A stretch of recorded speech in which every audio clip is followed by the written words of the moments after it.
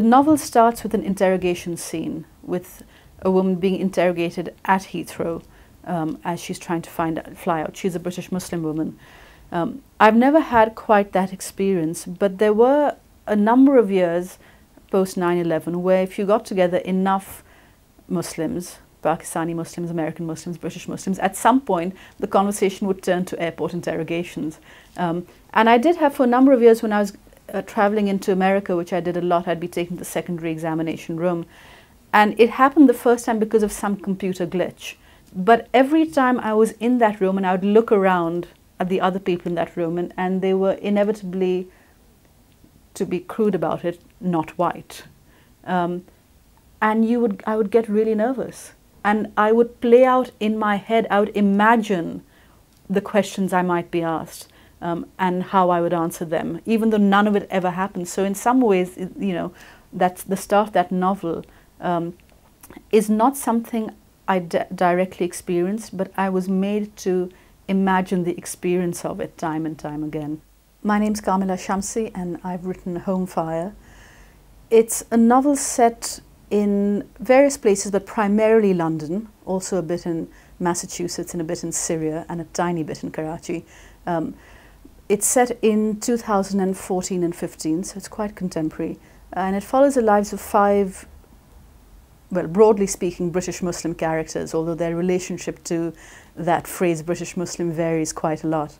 Um, and it's two families, they're three siblings, and then on the other side of the tracks, as it were, there's the Home Secretary and his son. Um, and it's really what happens when these lives collide, and, and in the backdrop of it is the fact that the three siblings in question, their father was a jihadi who died on his way to Guantanamo. So, of course, that sets up the two families against each other. Sometimes you get very lucky as a writer because you're without a novel to work on and someone hands you an idea. Um, in my case, I was between novels. Um, I was at that point where I really wanted to know what the next novel was going to be, but I just had nothing in my head. Um, and I got an email from a man I had never met um, called Jatinder Verma, who runs the Tara Arts Theatre in London. Um, and he invited me for a coffee. And when we met, he said, uh, I really love your novels. I love the way you do dialogue. I want you to write a play for me. And I said, but I don't know how to write a play. And he said, yes, I thought you'd say that. So why don't you adapt a play? Something like Antigone um, he said, you know, I think that's really a play you could do a lot with. And if you could just think about some contemporary Asian or British Asian context for it, just go away and think about it.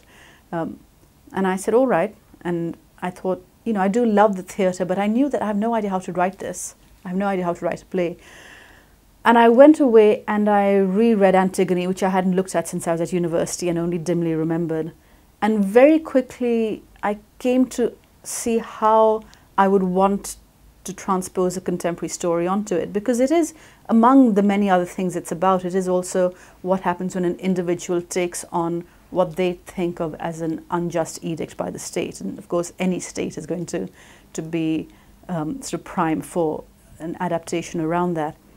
Um, and I did try I have to say I did try to think of it as a play but I have a novelist's brain.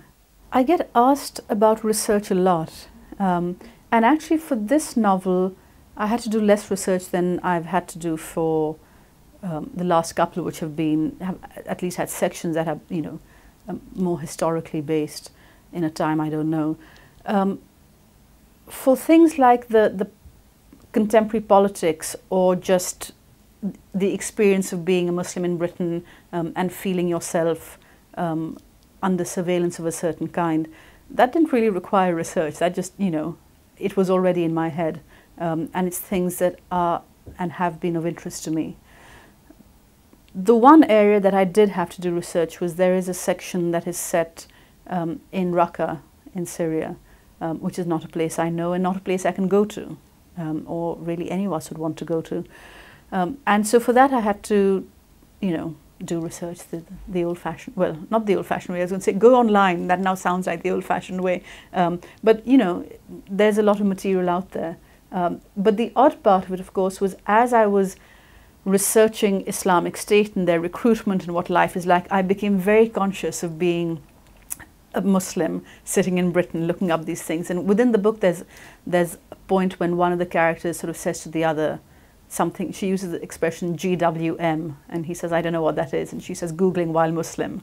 Um, so I was very aware of googling while Muslim, um, and it is actually discomforting. And I did also then work into the novel that my sense that as a novelist I can't just go and research anything, but I was sort of sitting there aware of the fact that I was researching something that might cause a little flag to go up somewhere in some you know room somewhere.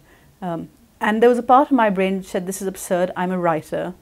Um, and it's perfectly natural that I want to l- look for these things. And there was another part of my brain that was actually saying, So, what will I say if someone comes knocking on my door saying, And why are you interested in these matters?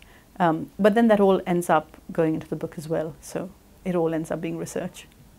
I think when you're working off another text, um, one of the things you need to do when you're thinking about things like how do I negotiate this very old text with the contemporary world um, is you need to put the old text aside.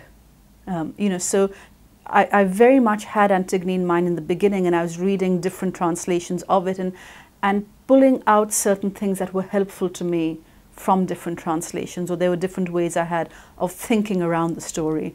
Um, but there did come a point when I just put it away, and the way I think about it is it's not even that Antigone was the structure or the skeleton of the book, it's Antigone was in the marrow of the book. Um, and then I went and, and, you know, there was a marrow, and then I got the skeleton, and then I put the flesh, and then I put the skin. It sounds a bit grisly now once you put it that way, um, but not irrelevant to Antigone with its dead bodies. Um, so yes, what you do is, is you take what is useful to you.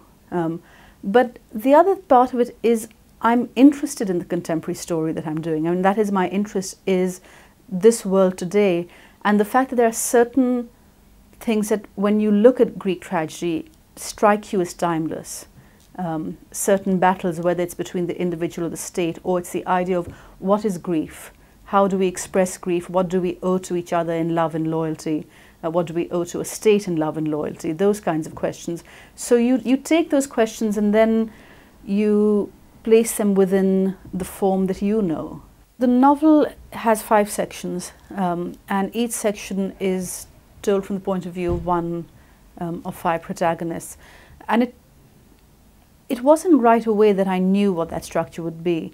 Um, at first, I had thought that perhaps the novel would be told from the point of view of um, the eldest of the three siblings, Isma.